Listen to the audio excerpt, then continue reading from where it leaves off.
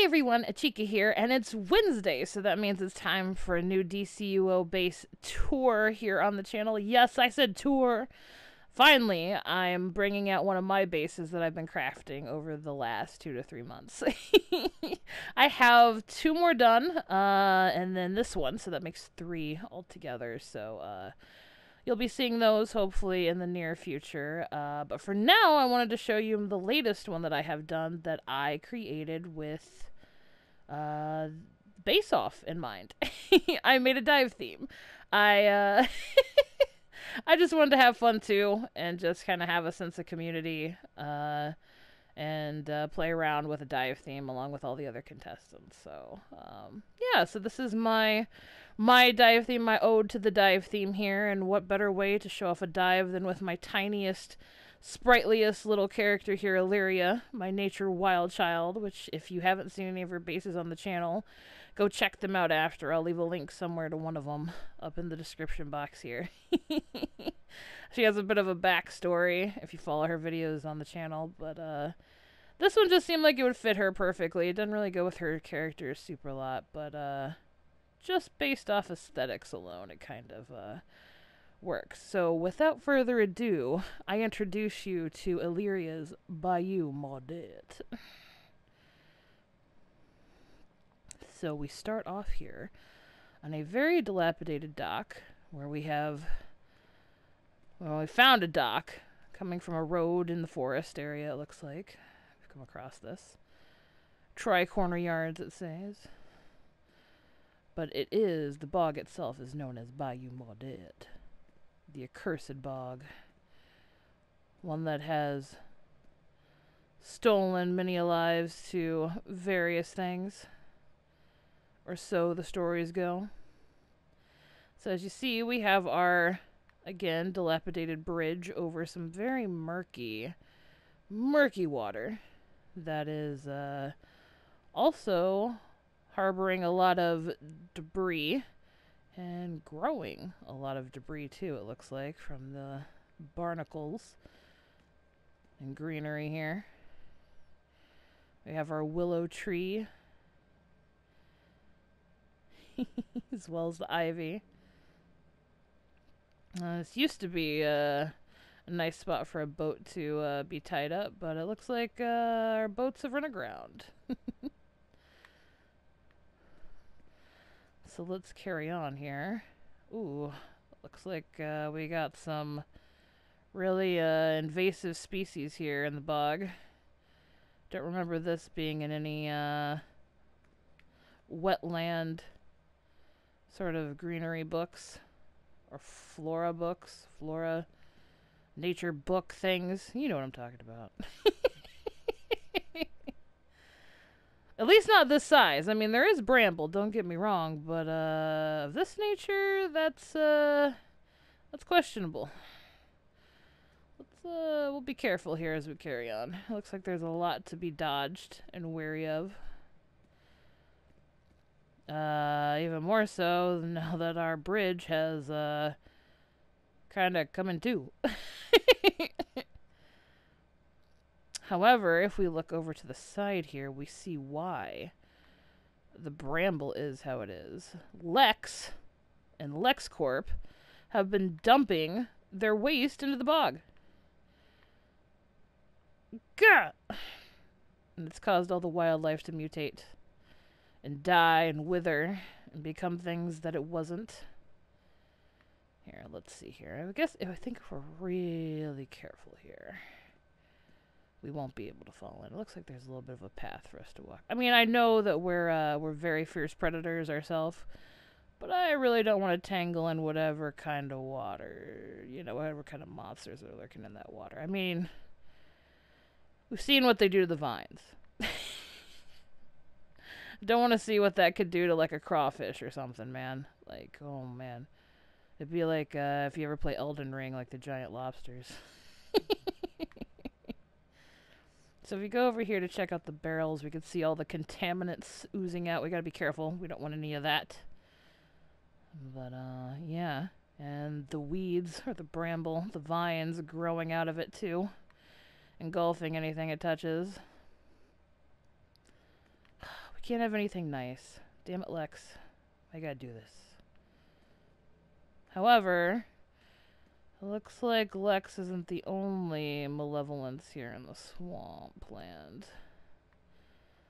So we'll just we'll be careful of that. Alright, time to cross this bridge. Let's hope that we uh we don't get snagged by any of our uh tentacly friends down there. Huh. Ah, we made it. Nice. uh however, it looks like other visitors did not make it. Oh.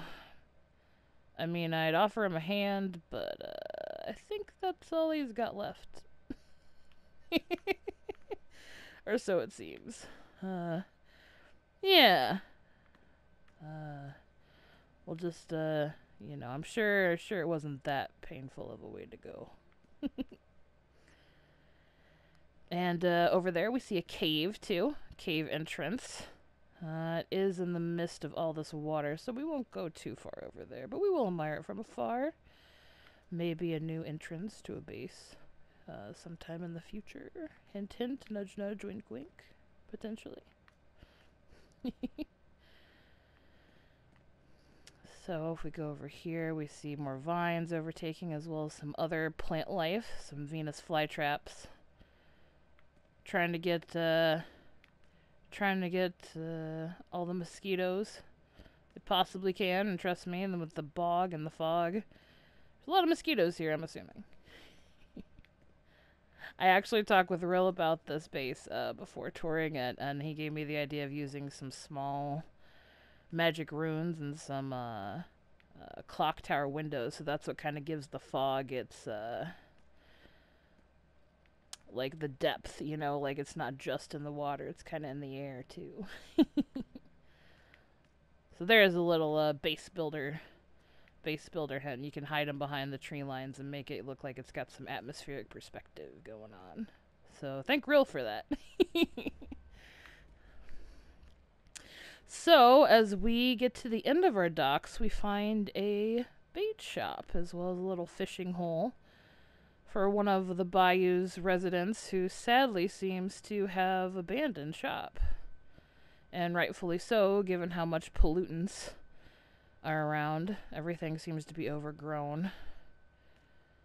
The once beautiful bog, or at least natural bog, that would yield crawfish and other fishing things to make a life off of now only hold eldritch tentacle beasts, and I don't think those probably fetch a pretty penny. At least to the average buyer. I mean, maybe this is, uh, you know, maybe they could sell them back to LexCorp uh, or something but probably Argus would intercept them for, you know, with their track record of dealing with giant tentacle monsters. but we can see the wrath of the LexCorp's pollutants here, especially. You can see that the uh, the wildlife has definitely become akin to it, which is kind of sad. Though it is kind of thriving in its own weird, grotesque way. So yeah, let's take a look at this shop that the owner once had here. Looks like it was for bait and tackle. Ooh. And it too has become run down and uh, abandoned, it looks like. The pipes have burst, making it damp. Mold growing everywhere, as well as barnacles. The festering pollutants of the barrels have also taken hold, it seems like. Uh, growing akin to the bait buckets, given uh, it probably had a lot of bait left in it. I mean, if there was anywhere this, you know, mold or uh, toxic goo was going to thrive, it'd probably be in a bait barrel that was abandoned and uh, had access to plenty of uh, moisture. All the fishing plaques on the wall, too. The wood's in disrepair. Yeah. More bait buckets that have gone bad. Same with over here. Ooh. I'm gonna be honest, even before I put the demon pods and stuff in there, that does not look appetizing. Look at that. Like, I mean, I know what shrimp. I mean, shrimp already and like you know, fish kind of have a weird color to it. But I mean, come on, man, that's like, that's like some gray matter crap in there. I don't know uh, who would be wanting that kind of fish. well, maybe the attendant might be in the back still somewhere. However, I doubt it given how run down everything is. Even their bait buckets are all worn over back here. A chair, an old television set to pass the time. Well, let's go see what they got in the back room here. Maybe we could salvage something out of our trip. Whoa! Well. it seems that our shop is not as abandoned as uh, we thought it was. It is, in fact, a uh, quite active, from what I can see. It seems our fisherman, or fisher person, has turned from, uh, you know, the bait and tackle life to, uh, being quite the green thumb here.